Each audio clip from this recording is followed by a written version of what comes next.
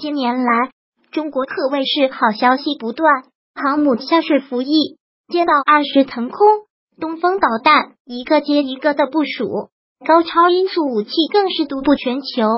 除了这些，还在很多领域，中国都已经做到了领先。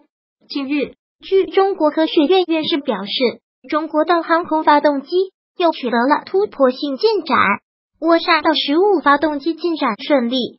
并且取得了非常显著的成效。专家表示，用不到五年，这款发动机便可换装中国绝大多数战机。它的完工也将会补齐歼二十最后一块短板。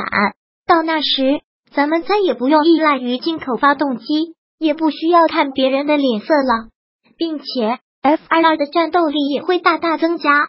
我们知道，一直以来，国产发动机都是中国空军。乃至航天航空领域的一大心病，由于技术的缺乏，发动机水平的不完善，导致我们不得不向西方国家虚心讨教，有时还得看他们的脸色。但是从今往后，我们拥有自己的发动机了，再也不用看别人的脸色了。但专家表示，成果尚未成功，仍需努力。目前歼二十使用的依然是俄罗斯的发动机。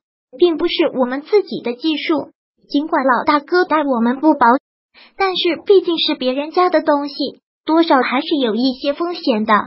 尽管我们已经研制出涡扇式发动机，并且已经换装到了一部分战机上，但是仍不满足四代机和五代机的需求，在性能上和国际上的一流发动机仍有不小的差距。因此，涡扇负十五希望。能给我们带来不一样的惊喜。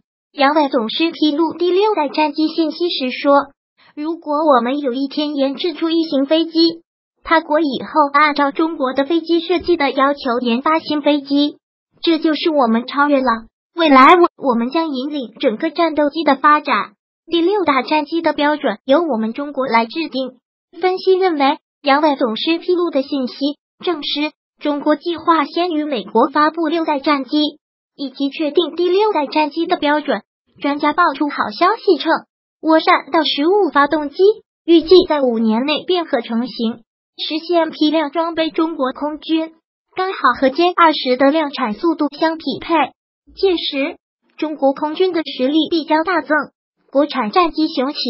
如果喜欢本视频，请分享并订阅本频道，别忘了按赞哦。